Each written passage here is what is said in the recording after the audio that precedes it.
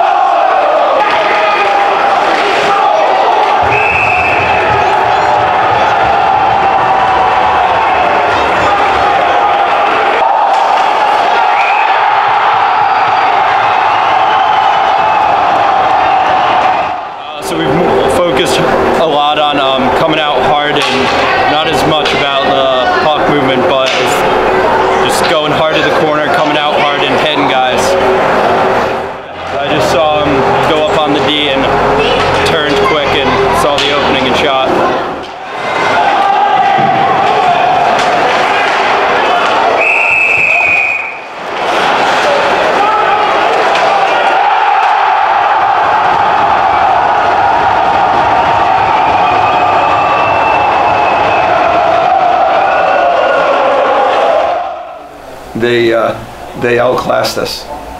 Um, I think we're a pretty good team. Um, they made us play poor. They outcompeted us. They had a jump in their skate. We did not. Um, they were by far a much better team than us tonight.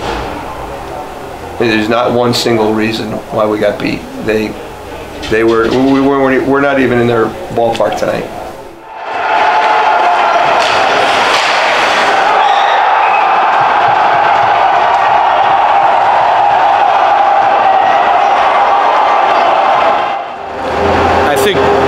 I think since the Darien game, they've made a better commitment to two things. Number one, being more physical. All three big, big, strong seniors, um, but also playing a little simpler.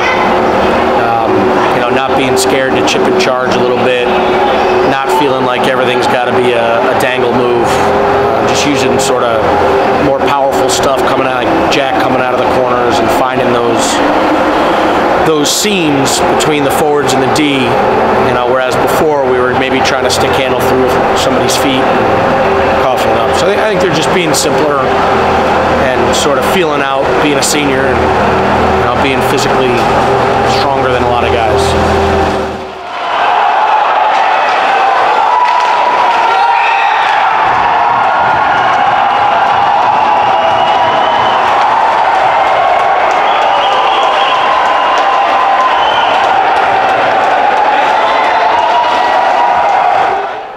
really depends. I mean, we have a couple systems that we run, and um, we just look for what's open. We look for the weaknesses in other teams, and we try to feed off of that. And I mean, it worked today. So.